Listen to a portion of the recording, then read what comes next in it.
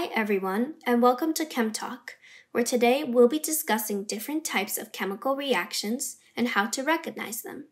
So, let's talk about it. The first reaction we'll cover is a synthesis reaction. The word synthesize means to combine, and that's exactly what's happening in this kind of reaction. We start with some simple materials which combine to make a more complex compound. For example, let's look at the reaction between lithium and oxygen. Solid lithium and oxygen gas come together to form one compound, lithium oxide, so the reactants are synthesizing to make one product. A general formula that describes this reaction is A plus B. The two reactants makes the compound AB, the one product. Instead of coming together, chemical reactions may involve breaking apart. This is what a decomposition reaction is. A complex compound breaks down into simpler materials. An energy source is required to break down the compound and may be present as heat, light, or electricity. For example, when in the presence of light, hydrogen peroxide decomposes into two simpler products, water and oxygen. So, we can represent decomposition reactions by the following general formula. AB, a compound, breaks down into A and B, two simpler products. Another type of reaction is a combustion reaction. This kind of reaction is pretty fun to see because flames are often produced.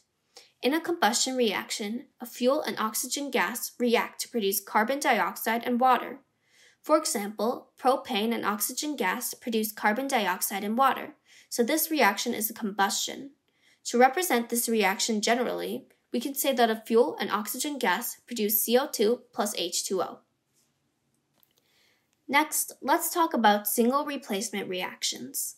In this reaction, an element replaces another in a chemical compound. For example, when fluorine is reacted with NABr, the fluorine replaces the bromine to form NaF and bromine.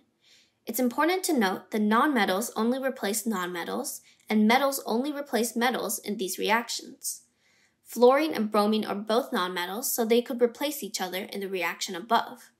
So we can represent single replacement reactions with the formula A plus BC produces B plus AC, where elements A and B are both metal or both nonmetal.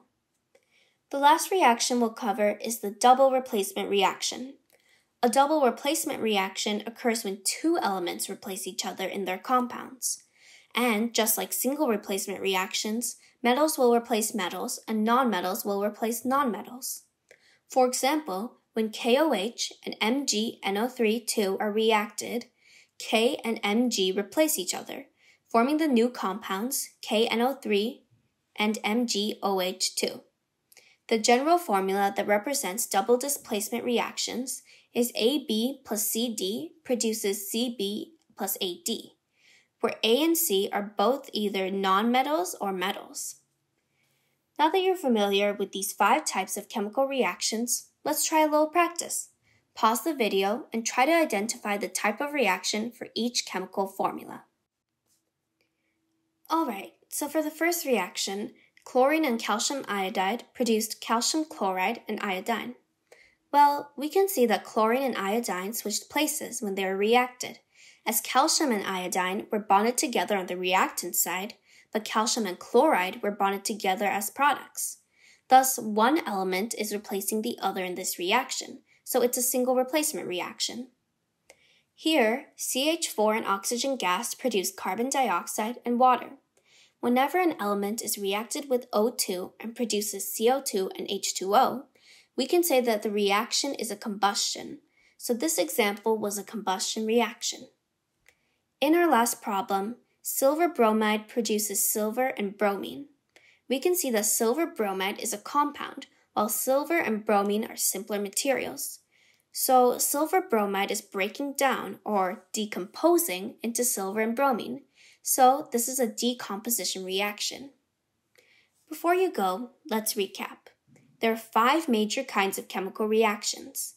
In a synthesis, chemicals combine while they break apart in a decomposition.